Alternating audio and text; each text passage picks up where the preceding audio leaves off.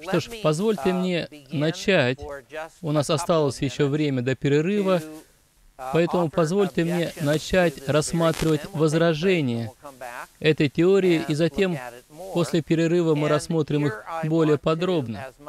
Итак, какие же можно привести возражения на аргументы защиту трихотомической теории устройства человека?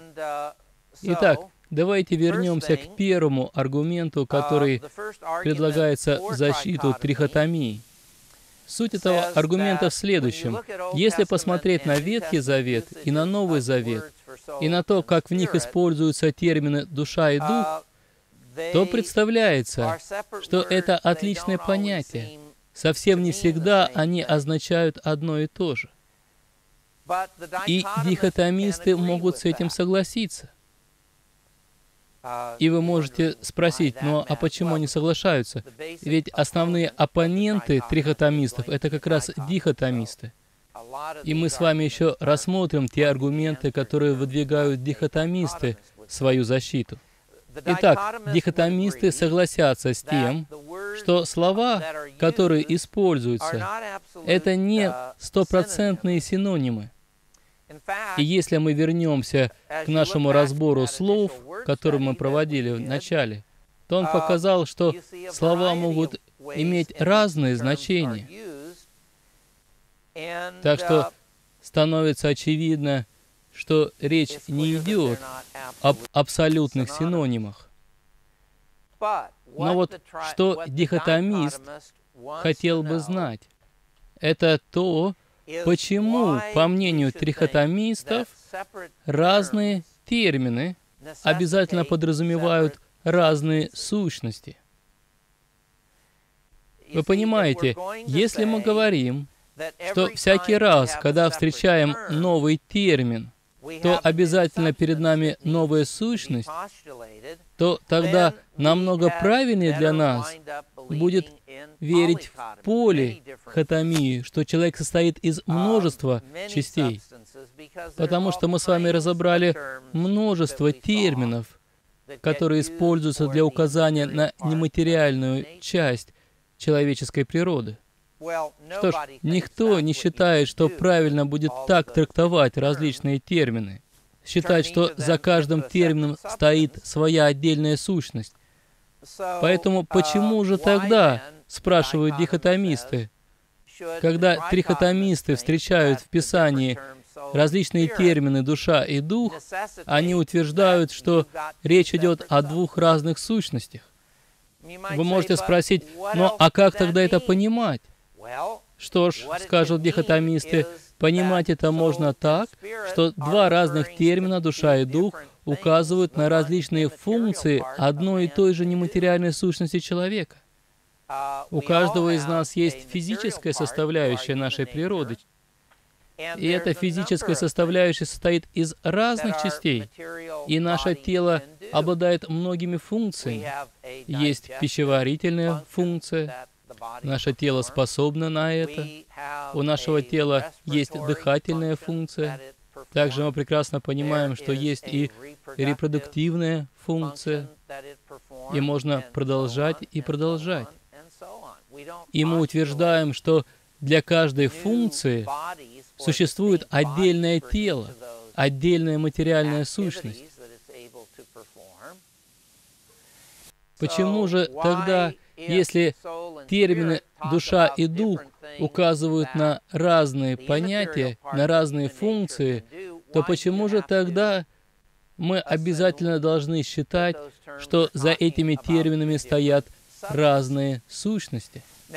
Конечно, это возражение само по себе не доказывает, что дихотомисты на самом деле правы, а трихотомисты, наоборот, заблуждаются. Это возражение лишь показывает то, что предлагаемый довод трихотомистов оказывается совсем неубедительным. И вывод, который делают трихотомисты, совсем неоднозначен. Итак, еще раз, что же за аргумент? Аргумент следующий. Термины, очевидно, не синонимы. А значит, заключают трихотомисты, эти термины указывают на две отличные сущности. На что можно возразить, что эти два термина указывают на одну нематериальную сущность, которая способна выполнять различные функции. Только лишь отметив тот факт, что термины могут использоваться в Писании либо взаимозаменяемо, либо указывая на разные сущности, вот только лишь отметив этот факт, вы еще ничего не доказываете. Да, есть вероятность, что эти термины подразумевают две сущности, но есть точно такая же вероятность, что речь идет об одной сущности. Поэтому на одном этом аргументе далеко вы не уедете. Итак, давайте вспомним второй аргумент и посмотрим, какое предлагается возражение. Второй аргумент основывается на идее прогрессирующего откровения. И хоть в Ветхом Завете и создается впечатление, что человек состоит из двух частей, то вот Новый Завет подчеркивает, что человек состоит из трех частей. И так как Новый Завет — это более позднее откровение, то мы должны основывать свои убеждения именно на том представлении, которое основывается на Новом Завете. Что ж, я не буду отрицать того, что Новый Завет проясняет записанное в Ветхом. Это утверждение является истинным, как в общем, так и в частном случае. В том случае, который мы с вами разбираем. Но само по себе это еще ничего не доказывает. То, что есть отличие, которое мы с вами видим в Новом Завете, отличие между понятием душа и дух, это отличие еще не доказывает, что речь идет о двух разных сущностях. Или то отличие, которое мы видим в Новом Завете, указывает лишь на то, что одну нематериальную сущность человека можно рассматривать с двух разных точек зрения. И вы можете спросить, ну а что же правильно? И моя позиция такова, что на основании утверждения о прогрессирующем откровении, и насчет этого согласны обе стороны, мы не можем выяснить, какая же точка зрения правильна. Мы не можем на основании Нового Завета сделать вывод, что в Новом Завете говорится о двух разных нематериальных сущностях в природе человека, в то время как в Ветхом Завете говорится только об одной. Быть может, действительно, Новый Завет проясняет этот вопрос, но, быть может, и то, что Новый Завет проясняет для нас, что ветхозаветное представление о природе человека, согласно которому существует только одна нематериальная сущность, вот это представление верно.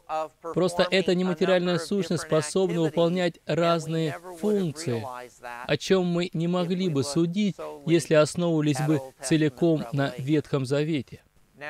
И вот какая точка зрения более вероятна, если основываться на откровении Нового Завета? Но вот на основании того, что у нас есть, это прогрессирующее откровение, использование слов взаимозаменяемо, мы не можем ответить на этот вопрос. Поэтому предлагаемый аргумент трихотомистами на самом деле ничего не доказывает. Да, пожалуйста. А вот что можно сказать по поводу утверждения Ветхого Завета, что душа человека в крови? Вот чтобы ответить на этот вопрос, надо рассмотреть конкретный текст Писания, в котором об этом говорится. Как я понимаю, вы подразумеваете Левит 17.11, где говорится, что душа тела в крови. Но здесь, конечно, не говорится о том, что нематериальная составляющая природы человека находится в крови. Потому что если трактовать этот стих буквально, то получается, что душа — это нечто материальное, нечто физическое. И, конечно, вы так не думаете. Но о чем здесь можно говорить? Если я правильно процитировал текст, о котором идет речь, книга Левит 17.11, «Потому что душа тела в крови, и я назначил ее вам для жертвенника, чтобы очищать души ваши, ибо кровь сия душу очищает. Этот стих ясно учит о том, как очищаются грехи человека. Этот стих не ставит цели раскрыть метафизическую природу человека, состоит она из двух или из трех частей. Но, быть может, я цитирую не тот текст, может, вы подразумеваете другой текст. Этот текст хорошо. Вот как это все относится, примеру, к тексту, записанному в книге Бытие, 2 глава, 7 стих? Вот сторонники трихотомии говорят нам, что толкование дихотомистов этого текста неверно. Что ж, действительно есть проблемы в том толковании Бытие 2.7, которое предлагают сторонники дихотомии. Но есть проблемы и в толковании трихотомистов. Этот стих не может использоваться в защиту трихотомической позиции. И сейчас я вам поясню, почему. Во-первых, мы читаем о том, что Бог вдохнул в человека дыхание жизни. И вот как толкуют этот текст трихотомисты, они говорят, что вот это дыхание жизни, которое вдохнул Бог в человека, это не что иное, как дух человека. Но давайте внимательно рассмотрим записанное в Бытие 2.7. Неужели это здесь написано? Мы читаем, «И создал Господь Бог человека из праха земного, и вдунул в лице его дыхание жизни, и стал человек душою живою». И я здесь не читаю, что Бог вдохнул в Адама дыхание жизни, и как следствие у Адама появился дух. Ничего подобного здесь не записано. Все, что здесь записано, то, что Бог вдохнул человека дыхание жизни, человек стал душой живой. И в оригинале здесь используется словосочетание, которое звучит так. Нефеш хая, что дословно означает «живое существо». Да, можно перевести «живая душа». Но если здесь речь идет о составляющей человека, то автор добавил бы, и эта живая душа стала живым существом. Но этого в этом тексте мы не находим. Поэтому очевидно, что когда в Бытие 2.7 мы читаем о дыхании жизни, и что когда Бог вдохнул это дыхание жизни, человек стал душою живою, то мы видим здесь пример синектики. Это литературный прием, когда выделяются части целого или целое из части, но в этом случае часть из целого. И получается, что «стал душой живою» означает «стал живой личностью». И когда мы читаем о том, сколько душ с собой взял Иаков, когда отправился в Египет, то ж, конечно, он подразумевал, что с ним пошли и тела людей. Это еще один пример синектики. Поэтому то толкование, которое предлагается трихотомистами, толкование Бытие 2.7, на самом деле не имеет под собой оснований. Совсем не об этом идет речь в этом тексте. Но есть еще один момент, на который обращают наше внимание. Нам говорят, что мы должны отмечать разницу между «хая», что означает «живой», и словом «хаим». Это еврейское слово означает «жизнь». И далее нам говорят о том, что душа всегда называется живой, но не жизнью. И нам говорят о том, что это именно так, потому что душа получает жизнь от Духа. Ну вот какой вопрос я хотел бы задать вам. Вот когда вы читаете Бытие 2.7, где вы это можете увидеть? Вот в этом стихе. Или в каком-нибудь другом стихе. Где мы можем прочитать о том, что душа получает жизнь от Духа?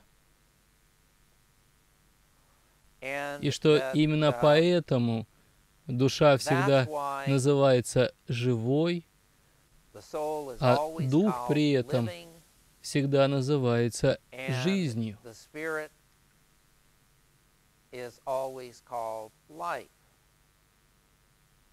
Или что, по крайней мере, душа никогда не называется жизнью, а всегда называется живой. Поэтому толкование этого текста идет намного дальше, чем сам текст. Вот на 39-й странице ваших конспектов, что касается взаимозаменяемого использования терминов «душа» и «дух», то вы тоже можете прочитать о том, что объясняется это методом синектики. И в некоторых случаях эти слова действительно используются взаимозаменяемо. В этом несложно убедиться. Однако это не означает, что они всегда используются взаимозаменяемо. Более того, я сомневаюсь в том, что кто-либо из трихотомистов будет говорить о том, что всякий раз, когда вы натыкаетесь на слово «душа», то вы должны добавлять и дух, и тело. Или всякий раз, когда вы натыкаетесь на слово «дух», вы должны добавлять и душа, и тело. Но есть еще одно возражение, которое необходимо упомянуть, когда мы разбираем этот аргумент. И возражение заключается в том, что этот аргумент содержит логическую ошибку.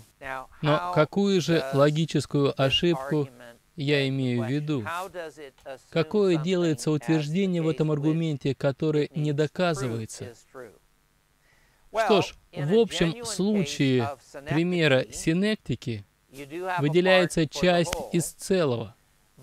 Но если именно это имеет место здесь, то как мы можем знать, что то целое, из которого выделяется часть, состоит из двух частей, двух нематериальных составляющих, как утверждают трихотомисты, а не только из одной нематериальной сущности, как утверждают дихотомисты. И если вы говорите, что, ну, раз речь идет о синектике, то должно быть более одной части. Что ж, если это действительно пример синектики, то так оно есть. Но является ли это синектикой? Доказано ли это? Действительно ли перед нами пример синектики? Кроме того, перед нами не может быть подлинный пример синектики, когда речь идет о душе и духе, если при этом душа и дух не будут являться отдельными сущностями. Но так ведь об этом-то и весь спор. Это не доказано. Нельзя просто допускать, что как будто это уже доказано, и далее делать какие-либо выводы по поводу толкования этого текста, выделения части из целого. Слишком много допущений. И многие выводы на самом деле беспочвены. Что ж, класс, много из того, о чем я сказал, можно было бы опровергнуть, если бы в действительности тексты Священного Писания, которые приводят трихотомисты свою защиту, на самом деле бы подтверждали их теорию. Но подтверждают ли они? Что ж, давайте сейчас сделаем перерыв, и на следующей лекции я хотел бы с вами рассмотреть вот эти пять текстов, которые трихотомисты приводят в свою защиту. И мы посмотрим, о чем же в них говорится, и действительно ли они подтверждают трихотомическую теорию. Большое дело начинается с малого пожертвования. И пятью хлебами можно накормить пять тысяч человек. Поддержите наш проект молитвой и финансами. Информацию, о чем молиться и как пожертвовать, вы можете найти на сайте tvseminary.com.